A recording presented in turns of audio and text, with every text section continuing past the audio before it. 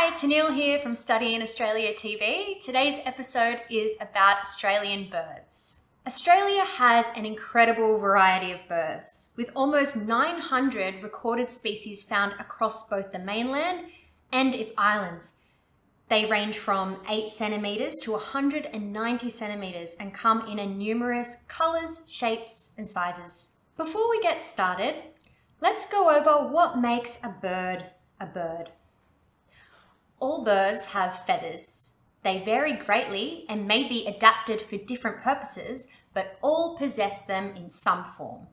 They all have wings, even flightless birds with vestigial, meaning left over from evolution and no longer serving a real purpose, or adapted wings. They all have a bill or beak. This is a bony projection which forms their mouth, although they come in many shapes, sizes, and colours. They are endothermic, meaning they can maintain their own body heat, unlike the ectothermic reptiles. They are bipedal, meaning they have two legs, and they all lay eggs. Birds first evolved from reptiles in the Mesozoic era, around 150 million years ago.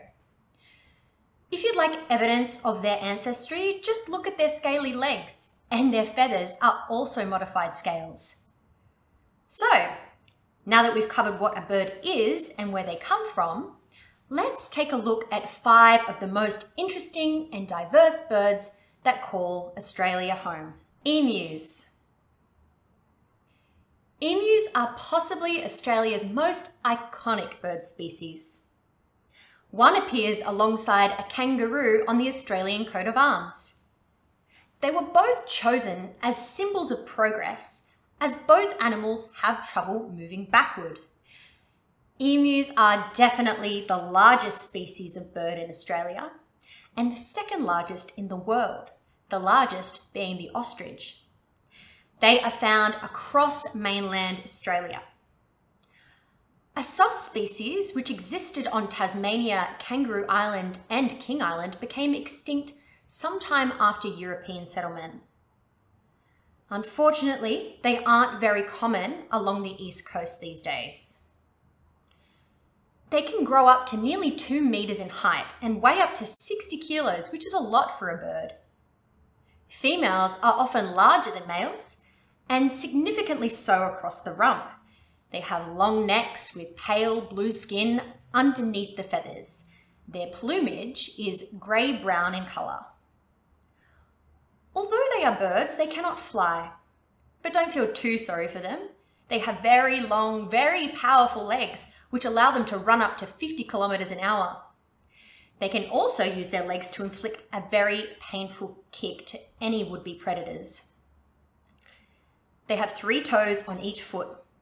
Ostriches only have two, with thick pads on the underside of their feet and relatively small wings in comparison with their large bodies. They have interesting mating behaviours. The female lays large green eggs in huge nests built on the ground, but it is the male who incubates them. The female leaves as soon as she has laid her eggs and may even go on to mate with a second male in the same season. The male does not leave the nest, going seven weeks without food, water, or even defecating. He will then stay with the chicks for approximately four months until they are able to care for themselves. Time for a quick, somewhat unbelievable history lesson.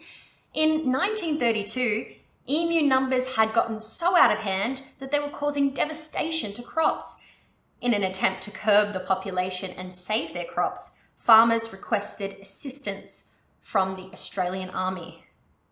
Believe it or not, this resulted in what is now known as the Great Emu War. The emus won. These days, they are protected under the Environment Protection and Biodiversity Conservation Act of 1999, although they're classified as least concern. Now we're going to talk about superb fairy wren. There are 10 species of fairy wren found in Australia although these beautiful birds are in fact unrelated to true wrens. The male of each species possess vibrant plumage for attracting females. These include the splendid fairy wren, which is almost entirely electric blue, and purple crowned fairy wren, which has bright purple plumage covering the top of its head. Today, we are going to focus on the superb fairy wren, which is actually comprised of six subspecies. They are found in the southeast of the mainland of Australia as well as Tasmania and the islands between such as Flinders and King Island and Kangaroo Island off the mainland of South Australia. They are often seen around Melbourne and Canberra and can be found anywhere with suitable dense cover and low shrubs.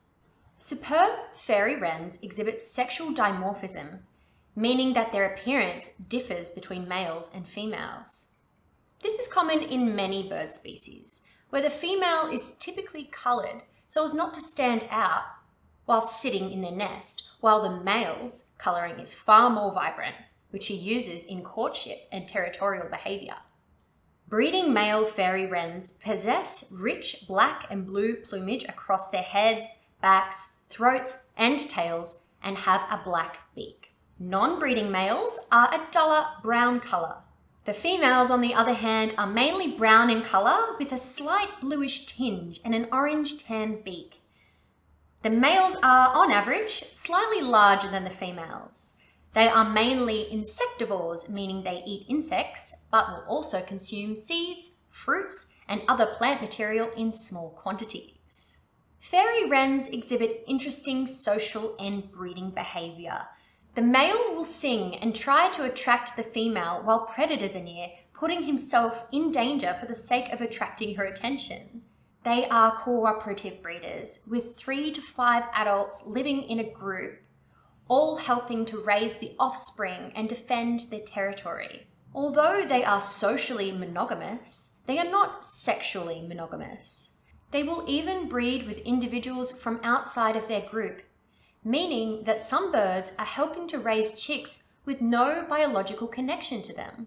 The females build dome-shaped nests out of spider webs, grasses, and other plant material. She will then incubate the eggs alone, when they hatch, they are fed by all of the members of the group. And once they are grown, offspring may remain with the group or leave to join a different one. Superb fairy wrens are not endangered and are classified as of least concern. The kookaburra. There are in fact four species of kookaburra, one of which are found exclusively in Australia, two in New Guinea, and one across both. The two Australian species are called the blue-winged kookaburra, which can be found in northern Australia and southern New Guinea. And the laughing kookaburra, which is native to eastern Australia, but has also been introduced to southwest Australia and New Zealand. Today, I am going to tell you about the laughing kookaburra, which is the species most Australians are familiar with. They can grow up to 45 centimetres long, and their beaks can reach over 10 centimetres in length. They can live up to 20 years. Its wing plumage is dark brown with white plumage on its underside and head. Their tails are a reddish with black barred pattern, and they have dark brown eye stripes. Their name comes from their laughter-like call, which some describe as manic. It is particularly loud at dawn and dusk, Laughing kookaburras are carnivorous, meaning their diet consists of meat including insects, frogs, mice, rats, lizards, and even snakes. They are well known for seizing their prey and beating it against a branch to kill or tenderize it before swallowing it whole, head first. But they too can become prey for other predatory birds such as eagles, falcons, and owls, reptiles such as pythons, and monitor lizards, or even introduced predators like foxes and cats. Laughing kookaburras pair for life. Similar to the fairy wrens, they live in groups with four or five of their adult offspring sharing a territory. These group members help to raise their younger siblings by assisting in incubating the eggs, keeping the hatchlings warm, feeding them, and helping to defend the family territory. Females lay three eggs. Chicks are born very aggressive and with a special hook on their beaks, which adults do not possess. The last chick to hatch is often killed by its siblings, either by pecking it to death or stealing all of the food from it. This is known as siblicide. After approximately four years, offspring will leave their parents in order to establish their own territories. Laughing kookaburras are not considered endangered and are classified of least concern. The southern cassowary. There are three extant, meaning living, species of cassowary and one extinct species. All are found in New Guinea. The largest, the southern cassowary, also found in northeast Australia, in the wet tropics of northern Queensland. Cassowaries are related to emus, and like emus, they are large flightless birds. The southern cassowary has glossy black plumage with unusual feathers which resemble hair. Like emus, they have three toes on each foot. Unlike the emu, however, they possess deadly dagger-shaped claw on their middle toes, and they have long necks that are almost entirely bare of feathers. But the skin is coloured in vibrant shades of blue, purple, and red, with long, drooping red wattles. Possibly the most distinguishing feature of these beautiful birds is the large brown helmet, known as a casque, on its head. The purpose of the casque is not known for certain, but it is hypothesized that it may assist in hearing and shock absorption. They can grow up to two meters tall, and although both sexes appear very similar, they do display some sexual dimorphism. Females are slightly larger than males. They can be up to 76 kilos in weight, whilst males can reach 55 kilos. The southern cassowary is the heaviest flightless bird in Australia, but the emu is taller.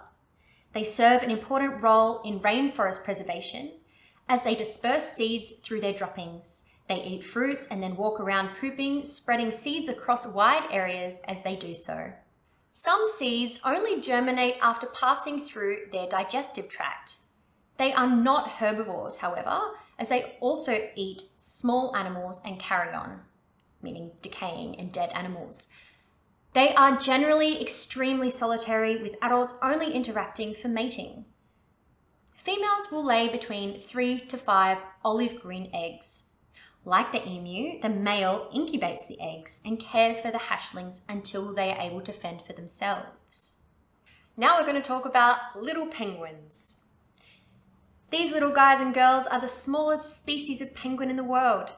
In Australia, they are often referred to as fairy penguins.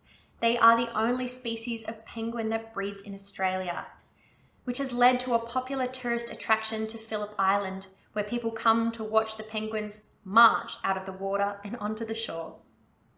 They are found in coastal waters across much of southern Australia and can also be found across the entire coastline of New Zealand. Little penguins have evolved to live in the ocean. Like the emus and cassowaries, they cannot fly. Their wings have instead adapted into stiff flippers, and they have webbed feet. Their bodies are streamlined for gliding through the water, and they have very dense, oily feathers, which keeps them waterproof. Without waterproofing, they would die of hypothermia. As they love to eat fish, these adaptations are necessary for catching their prey. Although some penguins can hold their breath for 20 minutes, little penguins can only last about two minutes. There are 18 species of penguin in total and are all found in the southern hemisphere. Little penguins are the only adult penguins in the world with blue and white feathers. All the other species have black and white. This sort of colouring is known as counter shading and is used to hide from predators. This is effective because when a predator is swimming beneath them and looks up, they blend in with the lighter colours of the water lit by the sun. When a predator looks down on them into the darker water, they blend into the darker waters, where there is less light. One incredible adaptation of penguins is a special gland above their eyes, which filters out salt, allowing them to drink seawater.